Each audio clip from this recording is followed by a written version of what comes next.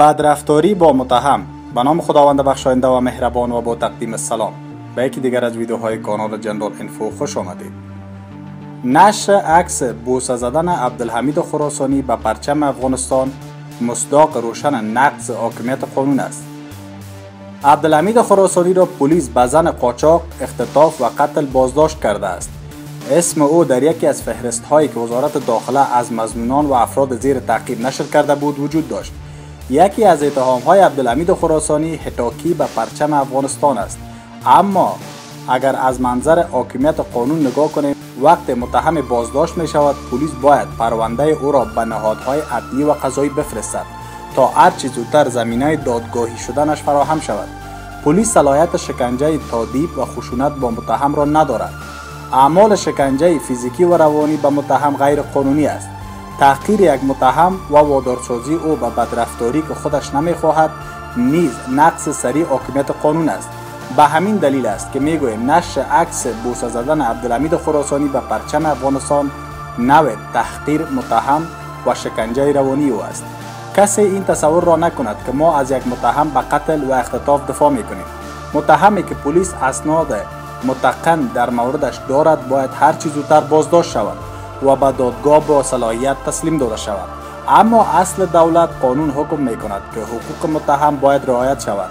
قانون اساسی و دیگر قوانین نافذه کشور شکنجه و بدرفتاری با متهم را منع می کند وادارسازی متهم بر رفتاری که او در حالت عادی آن را انجام نمی دهد و در غیاب حکم محکمه مصداق بدرفتاری و شکنجه است وزارت داخله باید پاسخ بدهد که در کجای قانون پلیس و بر اساس کدام اصل در حاکمیت قانون نیروی تنفیذ قانون حق دارد که به متهم جزای مثلا تادیبی بدهد. آقای مسعود اندرابی سرپرست وزارت داخله که شخصیت تحصیل کرده و طرفدار ارزش های افغانستان نوین است باید پاسخ بدهد که چرا پلیس زیر رهبری او باید نیروی تنفیذ قانون باشد. به متهم سزای به سلای تادیبی بدهد.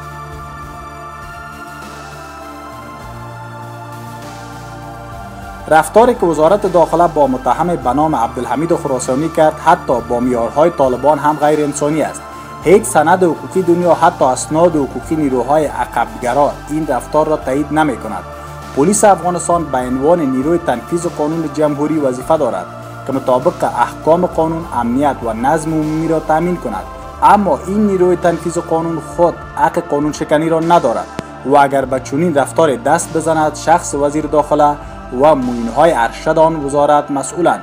در وضعیت که امریکایی ها با طالبان در حال مذاکره و هر نیرو تلاش می کند پابندیش را به ارزش های خودش نشان دهد آیا عاقلانه است که نیروهای تنفیذ قانون در جمهوری ما دست به اعمال شکنجه و بدرفتاری با متهم بزند و بعد عکس آن را نشر کند؟ اگر این رفتار به هدف وجه بخشیدن به یک دسته انتخاباتی و یک روایت سیاسی صورت گرفته باشد عذر بدتر از گناه است. آقای مسعود اندرابی که شخصیت تحصیل کرده و لیبرال است به خوبی می‌داند که نهادها برای پاسداری از ارزشهایی به وجود می آید و بین نهادها و ارزشها رابطه بسیار ارگانیک وجود دارد. به طور مثال امنیت فیزیکی و روانی انسانها یک ارزش است. حاکمیت قانون هم ارزش دیگر است. نهاد مثل وزارت داخله و پلیس برای حفاظت از امین ارزش ها به وجود آمده است. این نهاد حق ندارد که خلاف فلسفه وجودیش عمل کند. نیروی تنفیذ قانون نباید ناقص اصل حاکمیت قانون باشد. البته تنها مورد خراسانی هم نیست. نیروی پلیس افغانستان در گزارش های حقوق بشری وزارت خارجه امریکا هم نمره قبولی نیاورده است. اصل حاکمیت قانون حکم می کند که عبدالحمید خراسانی در یک دادگاه با صلاحیت در حضور داشته وکیل مدافعش به صورت علنی محاکمه شود. اصل محکمه عادلانه و علنی حق هر متهم است. ولو آن که اتهام او قتل های زنجیره‌ای فعالیت های تروریستی و قاچاق مواد مخدر باشد در هیچ کشور دموکراتیک دنیا نیروی مثل پلیس ابزار دست سیاستمداران و روایت های انتخاباتی آنان قرار نمی گیرد. وزیر داخله ما حتی می‌داند که در ایالات متحده FBI یا اداره تحقیقات فدرال امریکا که همان پلیس ایالات متحده است در مورد پرونده دخالت روسیه در انتخابات سال 2016 امریکا تحقیق می‌کرد. این اداره در مورد پرونده تحقیق می‌کرد که رئیس جمهور برحال امریکا به نحو متهم آن بود. اگر نهادها ابزار قرار بگیرند نمی‌توانند از ارزش ها پاسداری کنند. یکی از وظایف مسئولان درجه یک نهادها این است که اجازه ندهند نهادها ابزار قرار بگیرند. مثلا وزیر داخله کنونی حتی اگر در حلقه نزدیک اشرف غنی هم باشد نباید اجازه دهد که نهاد زیر رهبری او ابزار تبلیغاتی تیم قرار بگیرد.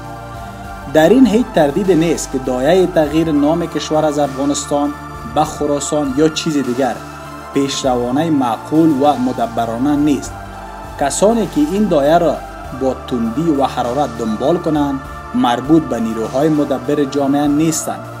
ولی وادارسازی یک متهم به بوسیدن پرچم و استفاده تبلیغاتی یکی از نیروهای سیاسی مشخص از سمبولیزم آن رفتاری است که نباید وزیر داخله اجازه می‌داد. اگر نهادها در کشورهای دموکراتیک دنیا ابزار بودند امروز دولتهای نیرومند در آن کشورها وجود نداشت. وزیر داخله باید به این سوال جواب بدهد که به چه دلیل او اجازه داده است که از نهادها و منابع نیروی پلیس استفاده شود.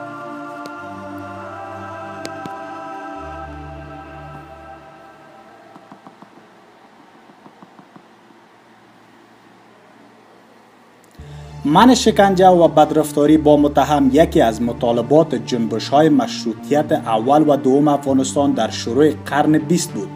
در زمان حکومت امان الله خان که رئیس جمهور غنی خودش را وارث او می‌داند برای اولین بار من شکنجه رسمیت قانونی یافت. زحمات خستگی ناپذیر تلاشگران مشروطخوا و دیگر نیروهای پیشرو سبب شد که در نظام نامه امان الله خان شکنجه ممنوع شود. در اسناد حقوقی پس از امان الله خان هم شکنجه به عنوان رفتار ضد انسانی و خشن شده بود. حکومت جناح خلق حزب دموکراتیک خلق به دلیل شکنجه متهمان و های بدون محاکمه مشروعیت نداشته است و باخت. حتی طالبان که به قول برخی از رهبران سابقشان شکنجه‌گرای بیرحم بودند در اسناد حقوقی‌شان شکنجه و بدرفتاری با متهم را منع کرده بودند. نیویورک تایمز به نسخه از پیش‌نویس قانون اساسی حکومت طالبان که در سال 1998 تهیه شده بود دست یافته است. در امین نسخه توسط یکی از نیروهای بسیار عقبگرا هم نوشته شده است که شکنجه ممنوع است. طالبان من شکنجه را اعمال نمی کنند جنگجویان آنان کسانی را که مزنون تصور می کنند با بیرحمی شکنجه می کردند آنان حتی زنانی را که پوشش مد نظر حکومت طالبانی را رعایت نمی کردند به شلاق می زدن. ولی امین نیروی عقبگرا هم تلاش می‌کرد که حداقل در کاغذ شکنجه را منع کند تشکر از توجهتان تا ویدیو دیگر بدرود